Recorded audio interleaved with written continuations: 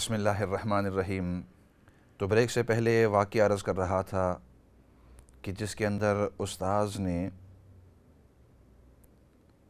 جو لوگ تھے ان کو بتلایا تھا کہ تم اس طالب علم کی ینگسٹر حافظ کی آپ خدمت کریں گے۔ اور حافظ کو بتلایا تھا کہ تم اپنے کام پورے انداز کے اندر خود کرنا بلکہ لوگوں کی خدمت کرنے کی کوشش کرنا۔ تو اس کی وجہ سے اتنا پیار آپس کے اندر ہو گیا کہ ہر ایک کوشش کر رہا تھا کہ میں اس کی خدمت کروں، میں اس کی خدمت کروں۔ دوسری طرف وہ سوچ رہے تھے کہ میں کوئی نہ کوئی کام اپنی طرف سے ان ان کے لیے کر دوں، اپنا کوئی کام ان سے نہ کرواؤں۔ تو یہاں تک کہ پھر جس وقت رمضان المبارک ختم ہوا، عید کے بعد وہ جب حافظ واپس جانے لگا، تو اس وقت ان محلے والوں نے آپس کے اندر یہ کہا کہ آج تک ہم نے اتنا اخلاقی، اتنا اچھا آدمی اپنی زندگی کے اندر ہم نے دیکھا نہیں ہے۔ اور اس بچے کو، اس ینگسٹر کو، وہ جو حافظ تھا، اس کو اتنا محب، اتنی محبت ہو گئی کہ حالانکہ میں ان سے خدمت کی مجھے توقع نہیں تھی، لیکن اس کے باوجود یہ میرے کپڑے دھونے کے لیے تیار تھے، میرے گھر کی، کمرے کی صفائی کے لیے تیاری تھی میرے کھانا گرم کرنے کے لیے تیار تھے، تمام کے تمام حالانکہ میں ایکسپیکٹ نہیں کر رہا تھا، مجھے ان سے توقع نہیں تھی۔ تو اسی طرح اسی طرح انسان جب کسی سے کوئی چیز کی توقع نہیں کرتا اور کوشش کرتا ہے کہ میں اس کی پوری خدمت کر لوں اور دوسرا آدمی یہی چاہتا ہے، تو اللہ رب العزت آپ اس کے اندر پیار، محبت اور زیادہ مضبوط کر لیتے ہیں۔ اور اسلام نے ہمیں یہ چیزیں سکھائی ہیں۔ ایسے کرتے ہیں، کچھ کالرز آئے ہوئے ہیں، کافی دیر سے وہ انتظار کر رہے ہیں، ان کے سوال کی طرف جاتے ہیں۔ اور باقی بھی جتنے بھی سامعین ناظرین ہیں اگر آپ جی، کال کرنا چاہتے ہیں۔ تو یہ موسٹ ویلکم آپ آن دیئر آ۔ کر کال کر سکتے ہیں۔ السلام علیکم ورحمۃ اللہ وبرکاتہ۔ وعلیکم السلام ورحمۃ اللہ وبرکاتہ۔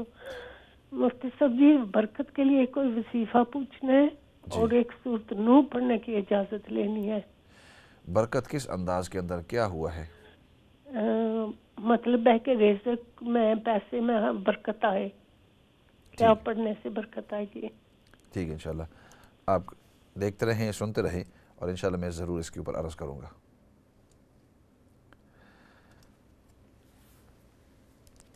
برکت کے لیے تو انسان اپنے جتنے بھی روزمرہ کے اعمال ہیں دین کے وہ انسان کرتے رہے تو اللہ رب العزت تمہارے ہر کام کے اندر برکت دیتے ہیں۔ تو فار ایگزامپل اب آپ دیکھتے رہیں آپ اپنی نمازیں جو ہیں وہ صحیح انداز کے اندر، پورے وقت کے اندر پڑھتے رہیں۔ اللہ رب العزت آپ کے ہر لحاظ سے آپ کی جان، مال، اولاد کے اندر برکتیں ہی برکتیں دیں گے۔ الحمدللہ۔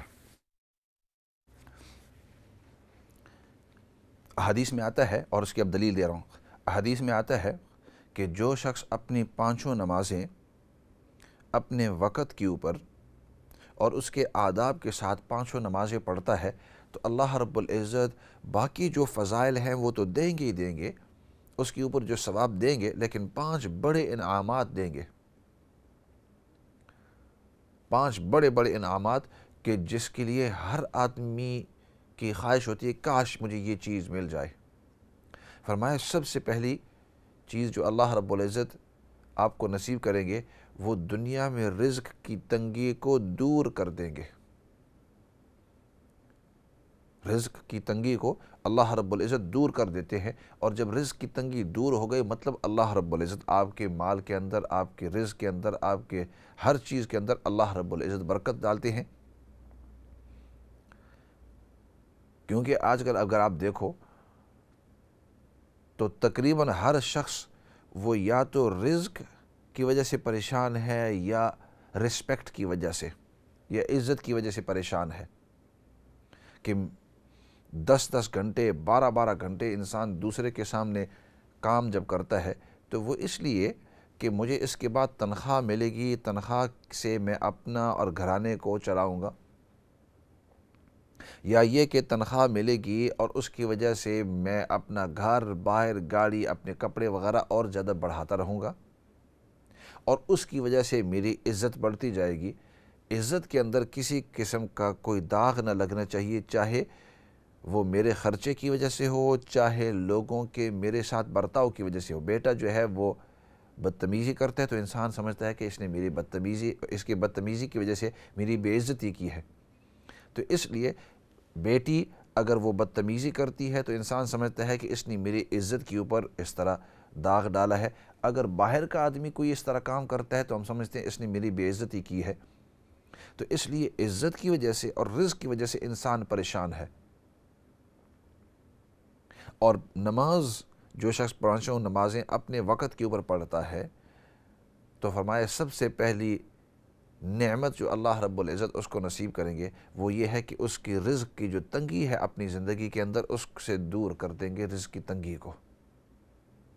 اس کے علاوہ آپ نے پوچھا کہ برکت کے طور پر تو قرآن کریم کی تلاوت کیجیے اور قرآن کریم میں سے صبح کی نماز کے بعد اسپیشلی صورت یاسین کی تلاوت کیجیے اس کی وجہ دلیل، اس کی وجہ یہ ہے کہ نبی پاک صلی اللہ علیہ وسلم کا ارشاد ہے، من قرأ یاسین فی صدر النہار قضیت حوائجہ، جو شخص صورت یاسین کی تلاوت کرتا ہے دن کے شروع میں، اللہ رب العزت دن کے اہم اہم کام اس کے لیے مکمل کر دیتے ہیں، پورا کر دیتے ہیں۔ تو آپ خود اندازہ لگاؤ کہ اللہ رب العزت اس کے اہم اہم جو کام ہے، اس کے ذمہ داری لے لیتے ہیں۔ اور یہ نبی پاک صلی اللہ علیہ وسلم ہمیں سمجھا رہے ہیں اور ہمیں اس انداز کے اندر بتلا رہے ہیں۔ کتنے مشفق انسان، انسانیت کے اوپر آپ صلی اللہ علیہ وسلم کہ ہمیں بتلا رہے ہیں کہ اپنے دن کے اہم اہم کاموں کو اگر آپ چاہتے ہیں کہ وہ مکمل ہو جائیں اور آپ چاہتے ہیں کہ آپ کے اہم اہم کام کی ذمہ داری اللہ رب العزت لے لیں تو اس کا طریقہ یہ ہے کہ آپ دن کے شروع میں صورت یاسین کی تلاوت کریں۔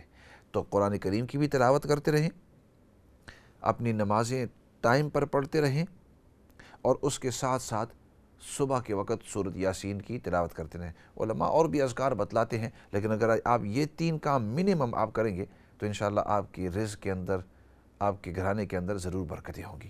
ایسے کرتے ہیں باقی کالوں کی طرف جاتے ہیں اور باقی آپ نے جو صورت نوح کے بعد چلو ایسے کرتے ہیں ان کالوں کے بعد اس کا جواب دے دیتے ہیں۔ اگلی کال کی طرف جاتے ہیں جی۔ السلام علیکم ورحمۃ اللہ وبرکاتہ۔ السلام علیکم۔ وعلیکم السلام۔ مولانا صاحب آپ خیریت سے ہیں؟ الحمدللہ اللہ کا شکر ہے۔ مولانا صاحب میرے دو کوشچن ہیں پلیز جی۔ ایک پہلا کوشچن یہ ہے کہ میری بھانجی ہے اور وہ چھوٹی بچی ہے ڈھائی سال کی ہے دو سال کی تقریباً۔ ٹھیک۔ وہ باتیں نہیں کرتی اس کی امی بہت زیادہ پریشان ہے۔ ٹھیک۔ دوسرا کوشچن یہ ہے کہ آپ میرے بیٹی کی شادی ہونے والی ہے تو آپ مہربانی کر کے کچھ وظیفہ بجائیں کہ پڑھوں خیریت سے یہ کام پایا تک مل تک پہنچ جائے اللہ کی فضل سے ٹھیک ہے سر آپ سنتے رہیں، دیکھتے رہیں اور انشاءاللہ ضرور اس کے اوپر کچھ بات چیت کریں گے۔ ایسے کرتے ہیں۔ اگلی کال کی طرف جاتے ہیں جی۔ السلام علیکم ورحمۃ اللہ وبرکاتہ۔ ایسے کرتے ہیں، ان کی کال جو ہے وہ ڈراپ ہو گئی ہے۔ آپ نے یہ پوچھا کہ صورت نوح پڑھنے کی اجازت دیجیے۔ بھائی، ہر آدمی کو قرآن کریم کے جو بھی صورت پڑھنا چاہتے ہیں، آپ پڑھ سکتے ہیں۔ آپ کو کسی قسم کی اجازت کی ضرورت نہیں ہے۔ نبی پاک صلی اللہ علیہ وسلم نے سب کو اجازت دے دی ہے، بلکہ ہمیں صرف اجازت ہی نہیں دی، ترغیب دی ہے کہ آپ ان صورتوں کو، ان آیات کو، قرآن کریم کی ان ان ان حروف کو آپ بار بار پڑھتے رہو۔ یہ بعض علماء نے اپنا یہ دبدبہ دکھانے کے لیے کہ بھائی اس زمانے کے اندر، پہلے زمانے میں دیہاتوں کے اندر یعنی اتنا زیادہ علم وافر نہیں تھا اور جو عالم ہوتے ہیں یا حافظ ہوتے، ان کو اپنے کنٹرول میں رکھنے کے لیے ان کو بتلاتے کہ دیکھو، اگر آپ کو یہ پڑھنا ہے نا، تو مجھ سے اجازت لینی ہوگی۔ فلاں شخص کو میں نے فلاں صورت پڑھنے کی اجازت دی ہے۔ اب لوگوں کے ذہن کے اندر یہ بات آ گئی کہ اگر ہمیں کوئی قرآن کریم کی صورت پڑھنی ہو یا اس حدیث سے جو دم آیا ہوا ہے یا حدیث سے کوئی دعا آئی ہوئی ہے، اگر اس کی تلاوت کرنی ہو، اس کو پڑھنا ہو یا اپنی اوپر دم پڑھنا ہو، تو فلاں عالم سے ہمیں اجازت کی ضرورت ہوگی۔ تو ان کی ذہن کے اندر اس قسم کی چیزیں ڈال دی تھی۔ حالانکہ شریعت میں اس طرح کی کوئی چیز نہیں ہے۔ اور وہ اس کو سائیکالوجی میں، انگلش میں کہتے ہیں کنٹرولنگ میکنزم ایک طریقے سے لوگوں کے ذہن کے اندر اپنی عزت اور اپنی بڑائی اور اپنا دبدبہ روب ڈالنا تھا، کیونکہ اور کوئی جو علماء تھے، یا مولوی حضرات تھے، یا جو حفاظ تھے، اور کوئی طریقہ تو تھا نہیں ان لوگوں کو کنٹرول کرنے کا اور اپنے ماتحتی کے اندر رکھنے کا، تو ایک یہ طریقہ تھا۔ اور بھی بہت سارے یہ حربے اور ٹرکس وغیرہ استعمال کرتے تھے۔ تو یہ تھا کہ بھائی، آپ کو اگر یہ صورت پڑھنی ہے تو آپ کو مجھ سے اجازت لینی ہوگی۔ یا کسی کو کہہ دیا، یا درس کے اندر، یا خطبے کے اندر، یا بیان کے اندر کہتے تھے کہ بھائی، میں نے فلاں شخص کو اس صورت کے پڑھنے کا، یا صورت نوح کے، یا صورت بقرہ پڑھنے کی اجازت دی ہے، اور چونکہ میں نے اجازت دی ہے، اب اس صورت کا اثر اس کے اوپر ہو گیا، اب وہ ٹھیک ہو گئی ہے۔ فلاں جو حدیث کے اندر دعا آئی ہوئی ہے، اس دعا کی میں نے اس کو اجازت دی ہے، اور میری اجازت کے بعد اب وہ ٹھیک ہو گیا ہے۔ تو اب باقی جتنے بھی سننے والے ہوتے تو وہ یہ سمجھتے کہ بھائی، اس سے پتہ چلتا ہے کہ مولانا سے یا مفتی صاحب سے یا حافظ صاحب سے یہ اجازت لینی پڑتی ہے۔ تو اگلی مرتبہ آ کر کہتے کہ آپ ہمیں بھی اجازت دے دو۔ تو وہ سوچتے تھوڑا، اجازت چلو، آپ کو میں دے دیتا ہوں، ٹھیک ہے، آپ بھی پڑھ لو، لیکن صرف تین دن کی اجازت ہے۔ تو وہ تین دن بیچارے پڑھتے، پھر تین دن کے پاس ان کے پاس آتے، پھر وہ تین دن کے پڑھنے کی اجازت دیتے۔ تو اس طریقے سے وہ اپنا محتاج ان کو رکھتے کہ وہ بار بار ان کے پاس آئیں، تعلق رہے آج ہی ان کے پاس کرنی پڑے، وغیرہ وغیرہ۔ بھائی، یہ تمام کے تمام اس طرح کی باتیں صحیح نہیں ہے اس طرح نہیں کرنا چاہیے۔ نبی پاک صلی اللہ علیہ وسلم نے پورے کائنات کو اجازت دے دی ہے قرآن کریم پڑھنے کی۔ اللہ نے اجازت دے دی ہے تمہیں پڑھنے کی۔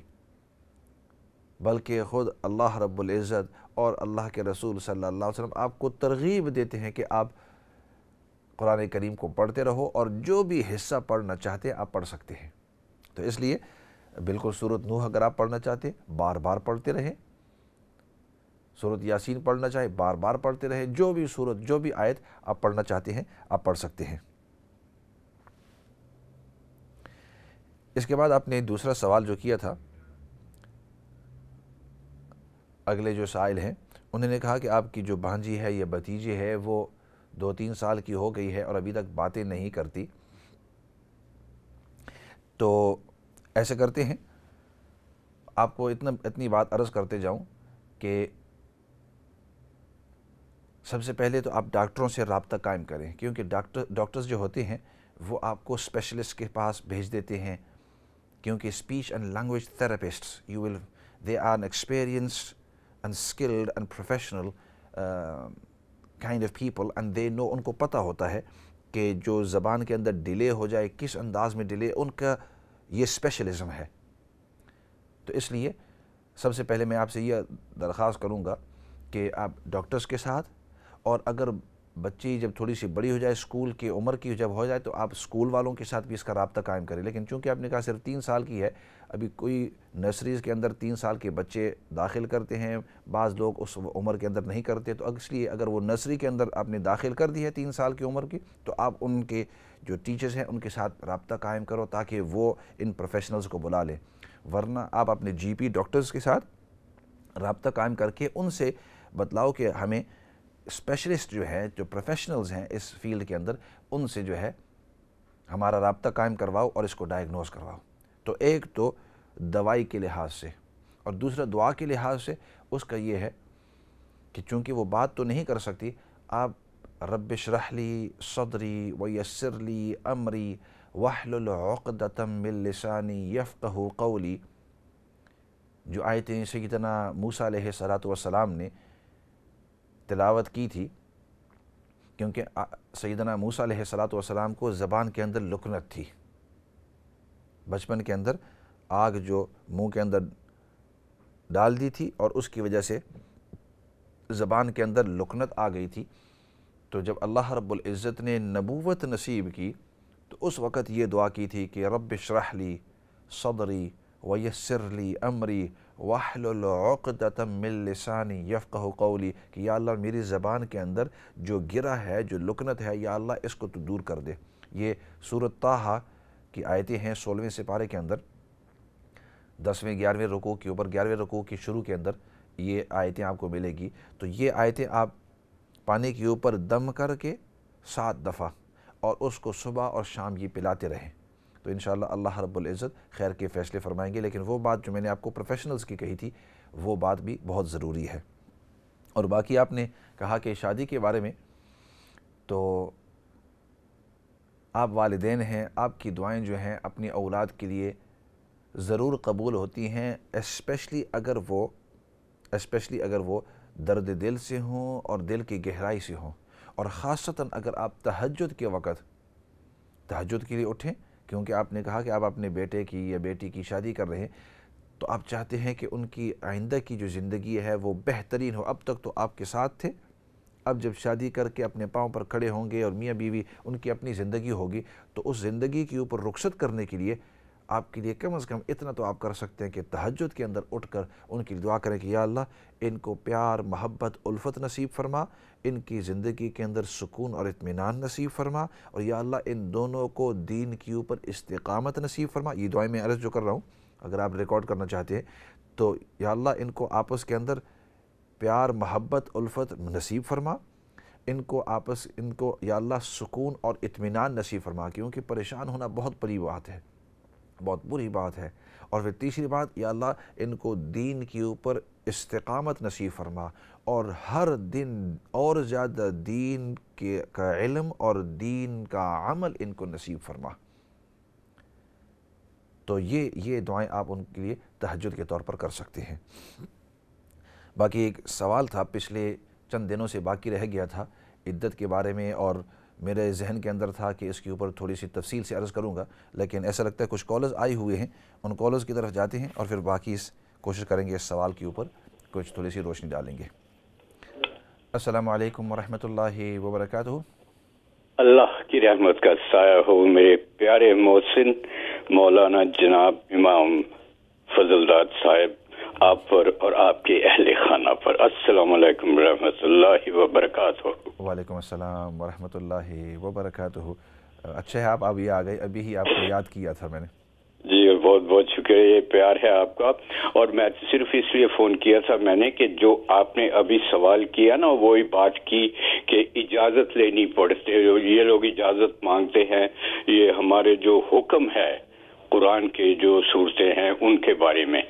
تو یہ آپ نے کہا نا کہ بہت پرانی بات ہے یہ تو کچھ سال پہلے کی بات ہے۔ یہاں پر ٹی وی یہاں پر ٹی وی پر یہ لوگ کہتے تھے میں کوئی نام وغیرہ نہیں لوں گا۔ ہاں جی، وہ لوگ کہتے ہوتے تھے کہ مجھے اجازت دے اجازت دے تو وہ بہت روب کے ساتھ کہتے ہوتے تھے، وہ مولانا صاحب جو تھے، کہ ہاں ٹھیک ہے ٹھیک ہے ٹھیک ہے، اجازت ہے اچھا ہاں اجازت ہے، چلو دی اجازت دی اجازت دی اجازت۔ یہ آپ نے بہت اچھا کیا، خاص کر کے جو خواتین ہیں، میں عزت سے بات کر رہا ہوں ان کے لیے، لیکن انہیں چاہیے کہ ذرا احترام کریں، وہ ان باتوں پر نہ جائیں۔ جو آپ نے انہیں جواب دیا ہے، جو آپ نے انہیں ہدایت دی ہے وہ بالکل سو فیصدی جی جی۔ صحیح ہے۔ تو آپ کا بہت بہت شکریہ کہ آپ نے وہ اس پر ذرا نظر ثانی کی۔ اللہ آپ کو جزائے خیر دے۔ بھائی زیغم صاحب آپ نے نوٹس کیا ہوگا؟ ہیلو جی۔ آپ نے نوٹس کیا ہوگا کہ بہت سارے جو ہم چونکہ میں عالم تو اپنے آپ کو نہیں کہتا ہوں میں تو ایک طالب علم ہوں لیکن جو علماء ہمارا طبقہ ہے تو ان کی جو کمزوریاں ہیں وہ عام طور پر دوسرے علماء جو ہیں وہ بیان نہیں کرتے، لیکن میں اس سے ڈرتا نہیں ہوں۔ اگر وہ اس چیزوں سے ناراض ہوتے ہیں تو وہ ان کی بات ہے، کیونکہ ہمارے اس پروگرام کو بہت سارے علماء بھی، آپ جیسے صاحب علم لوگ بھی سنتے ہیں۔ تو ادھر میں جو صاف صاف بات ہوتی ہے، سب کو صاف صاف اور سچی سچی بات بتلا دیتا ہوں۔ جی اسی لیے میں نے وہ پہلے سے پہلے دن سے ہی آپ سے کہا تھا کہ میں واقعی قدر کرتا ہوں کہ آپ کے انداز بیان کی اور جو جو باتیں آپ کرتے ہیں حقیقتاً کرتے ہیں اور یہ ٹھوس باتیں ہوتی ہیں اور واقعی آپ قابل تعریف ہیں اور اللہ آپ کو اور زیادہ علم کی روشنی عطا کرے اور لمبی عمر دے اور اچھی سے دے۔ ہماری دعائیں آپ کے ساتھ ہے تاکہ اسی طرح سے مجھ جیسے نا اہل لوگ بہت کچھ سیکھنے کو ہم کو ملتا آپ ہے۔ تو اہل علم ہیں جی آپ تو اہل علم ہیں جی۔ کیوں شرمندہ کرتے آپ مجھے بہت بڑا بتاتے ہیں۔ نہیں میں تو کچھ بھی نہیں جناب خاکسار بس آپ کو آپ کے ساتھ بہت پیار اور لگاؤ اور محبت ہے۔ اللہ آپ کو سلامت رکھے۔ اور ہاں جاتے جاتے ایک چھوٹا سا سوال تھا۔ کہ کیا انسان جس طرح کہتا ہے کہ بھئی جو گزر گئے ہیں فوت ہو گئے ہوئے ہیں ان کے لیے جو قرآن ختم کر کے انہیں ثواب پہنچاتے ہیں۔ کیا انسان اپنی زندگی میں اپنے بارے میں اس طرح کر سکتا ہے کہ کہیں اور قرآن خانی کروائے کہے کہ یہ میرے لیے ہو؟ ٹھیک انشاءاللہ بہتر اس کی بہت بہت شکریہ جزاک اللہ خیر۔ السلام علیکم۔ اچھا اگلی کال کی طرف جاتے ہیں جی۔ السلام علیکم ورحمۃ اللہ وبرکاتہ۔ جی وعلیکم السلام۔ جی بھائی جان آپ کیسے ہیں؟ الحمدللہ اللہ کا شکر ہے۔ جی۔ ماشاء اللہ بہت بہت اچھے طریقے سے آپ مسائل کا بتا رہے ہیں ماشاء اللہ تو بھائی جان آپ سے ایک سوال پوچھنا ہے کہ اگر مغرب کے بعد انسان سو جائے نیند آ جائے تھکاوٹ ہو تو کیا فجر سے پہلے اٹھ کے وہ عشاء کی نماز پڑھ سکتے ہیں؟ ٹھیک انشاءاللہ۔ آپ دیکھتے رہیں سنتے رہیں۔ جی۔ تو ضرور جی۔ اس کے اوپر بات کریں گے انشاءاللہ۔ جی ٹھیک ہے پلیز جزاک اللہ خیر اوکے السلام علیکم۔ وعلیکم السلام ورحمۃ اللہ۔ اگلی کال لیتے ہیں۔ وقت تو مختصر ہے، ایسے کرتے، سوری، اگلی کال نہیں لے سکتے کیونکہ وقت بہت مختصر ہے۔ وہ بھائی زیغم صاحب، آپ نے بڑی پیار محبت کا انداز اختیار کیا ہے۔ اللہ رب العزت آپ کو اور باقی جتنے بھی محبت کرنے والے ہیں اور پیار کے جو الفاظ استعمال کرتے ہیں، اللہ رب العزت آپ لوگوں کو جزائے خیر دے۔ میں کوئی اتنا یعنی ایک طالب علم ہو، کچھ تھوڑا سا اللہ رب العزت نے تھوڑے سے دین کا مختصر سا تھوڑا سا علم دیا ہے۔ اور باقی آپ کو اس لیے یاد کیا تھا کہ ابھی ہی تھوڑی دیر پہلے آپ نے جو سوال کیا تھا، کئی دن پہلے عدت کے بارے میں، تو میرا دل تھا کہ اس کے اوپر خوب تفصیل سے بات کروں۔ اور ذہنی طور پر تیار بھی ہوا تھا، اور ساتھیوں کو کہا بھی تھا کہ اس طرح کریں گے کہ زیادہ کالیں آج نہیں لیں گے۔ یہ اس مسئلے کے اوپر میں تفصیل سے بات کروں گا۔ اور ابھی ایک منٹ پہلے ہی آپ کے فون کال سے پہلے میں نے عرض کیا تھا۔ اس لیے میں نے آپ کو کہا کہ آپ کو یاد کیا ہے۔ لیکن پھر دوبارہ کلاک کی طرف سامنے دیکھ رہا ہوں تو بہت مختصر وقت ہے۔ تو اس کو سوال کو اگلی دفعہ کے لیے چھوڑ دیتے ہیں نیکسٹ سیشن کے لیے انشاءاللہ۔ لیکن وعدہ ہے کہ اس کے اوپر، چونکہ آپ نے بڑی اس زور دیا ہے کہ اس کے اوپر ضرور بات کریں اور واقعی حالات حاضرہ کے مطابق عدت کے مسائل کس طرح ہوتے ہیں، کس طرح نہیں ہوتے، کیا کرنا چاہیے؟ علماء اس کے اوپر زیادہ تفصیل بیان نہیں کرتے، حالانکہ بہت سارے لوگوں کو اس کی ضرورت ہوتی ہے۔ تو اس طرح کریں گے، اگلے سیشن کے اندر ضرور میں اس کے اوپر تفصیل بات چیت کروں گا تاکہ جتنی بھی سامعین ناظرین ہیں ان کو پوری تفصیل سے یہ پتہ چل جائے۔ اور باقی آپ کے دونوں یہ جو مسائل ہیں جو آخر میں رہ گئے ہیں، ان کے اوپر بھی انشاءاللہ آئندہ کل تفصیل سے بات کریں گے۔ ایسے کرتے ہیں، وقت مختصر ہے اور دعا کے ساتھ ختم کر لیتے ہیں۔ الحمد للہ رب العالمین والصلاة والسلام على سید الانبیاء والمرسلین محمد وعلى آلہ وصحبہ اجمعین ربنا ظلمنا أنفسنا وإن لم تغفر لنا وترحمنا لنكونن من الخاسرین اللہم ربنا اغفر لنا ولإخواننا الذين سبقونا بالإيمان. ولا تجعل في قلوبنا غلا للذين آمنوا. ربنا إنك رؤوف الرحیم یا رب العالمین، تو ہم سب کو دین کی صحیح سمجھ نصیب فرما، ہم سب کو دین پر استقامت نصیب فرما۔ یا اللہ، نبی پاک صلی اللہ علیہ وسلم نے جتنی بھی خیر کی دعائیں مانگی ہیں، ان تمام دعاؤں کے اندر ہم سب کو حصہ نصیب فرما۔ نبی پاک صلی اللہ علیہ وسلم نے جن چیزوں سے حفاظت اور پناہ مانگی ہے، یا اللہ، ان تمام چیزوں سے ہم سب کو حفاظت اور پناہ نصیب فرما۔ یا اللہ جتنے بھی بیمار ہیں سب کو شفا نصیب فرما اور جتنے بھی پریشان حال ہیں، جس قسم کی بھی پریشانی کے اندر ہیں، یا اللہ سب کی پریشانیوں کو دور فرما۔ یا اللہ سب سے بڑی بات وہ تیری رضامندی ہے۔ یا اللہ، دنیا اور آخرت کے اندر تو ہم سب کو اپنی رضامندی نصیب فرما۔ سبحان ربک رب العزت عما یصفون وسلام علی المرسلین والحمد للہ رب العالمین برحمتک یا ارحم الراحمین۔ میں ہوں آپ کا مخاطب مولانا فضل داد اور یہ ہمارا پروگرام ہر منڈے اور ٹیوزڈے ایوننگ کو ہوتا ہے۔ خود بھی سنتے رہیے، دوسروں کو بھی سناتے رہیے اور بتلاتے رہیے۔ اسی کے ساتھ والسلام علیکم ورحمۃ اللہ وبرکاتہ۔